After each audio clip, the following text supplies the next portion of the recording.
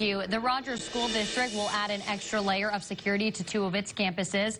On Tuesday, the Rogers School Board approved adding fences to both of its high schools. The total cost is roughly $137,000, which will be paid for through a millage increase passed in 2017.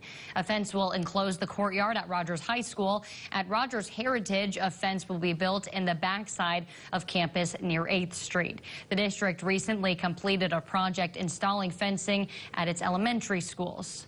Anything that we can do to enhance security and keep our students safe, we're going to continue to do. You know, we're, we're looking at uh, potentially putting in buzz-in systems at our high schools, like we have at our middle schools and elementary systems. It's just it's a little bit harder at high schools because you have so much traffic of students coming and going. The fences will be completed by the start of the next school year. Other renovations in the work for the district include new sports facilities. $44 million is going towards a new gym, baseball and softball complex for both Rogers High School and Heritage High School.